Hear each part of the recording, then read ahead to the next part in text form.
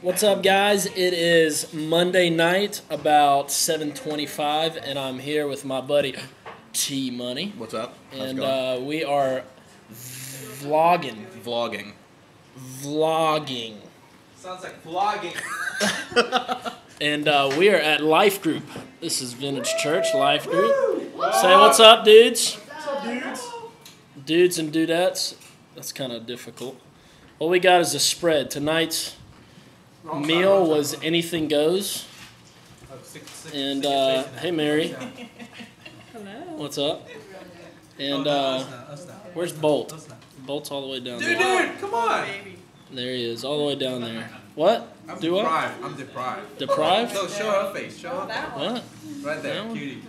How much are, are we gonna have to pay you, Edmund? Uh, For ten this? percent of your net worth. Ten percent of net worth. All right, I'll send you two dollars later.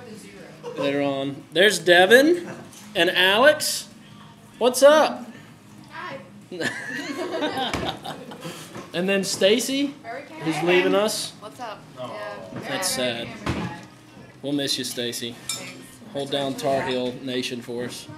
And Alicia. Hello, hello. We're about to study the fact that Jesus is fully human. What? That's a wrap.